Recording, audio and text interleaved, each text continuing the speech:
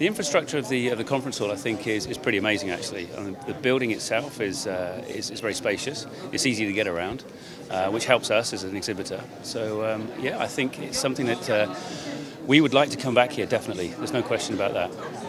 The planning of the conference has been exceptional. I've spoken to a number of the uh, the planners uh, outside, and they've been very very helpful. I must say.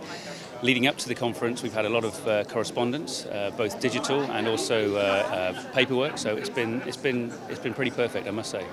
Well, Reykjavik in Iceland is in a place I want to, to visit for a long time, and this conference gave me the ideal opportunity to, to see Reykjavik itself and Iceland.